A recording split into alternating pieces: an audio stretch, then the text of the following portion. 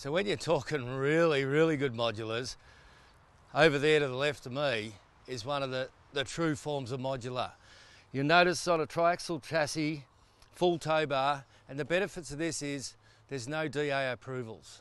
It's a very spacious 11 metre by 3.3 wide single bedroom ensuite home with kitchen and massive beautiful living space again with one of the emphasis we had was big windows so we get so much natural light in it. This one here is 80% finished. It's got to go. There's two of them. There's special prices going on. We have to make room in this yard for more. If you want to come have a look, follow me.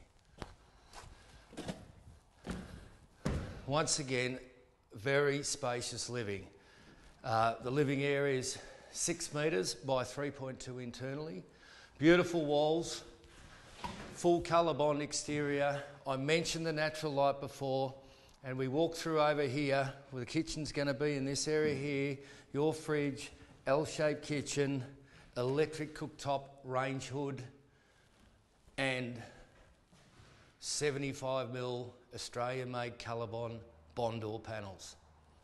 Not to mention 100 mil Bondor EPS panels for the ceiling, which gives optimum thermal qualities. And if you have a look a bit closer, all the wiring's done with proper Australian standard cable that are suited for EPS panel. Here is our very spacious master bedroom. Right here is the connecting ensuite.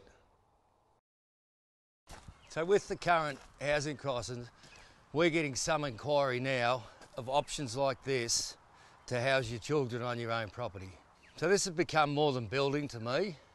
This has become families living with families again. But this opportunity here to actually have your own space but have your family on your property, it is a terrific model.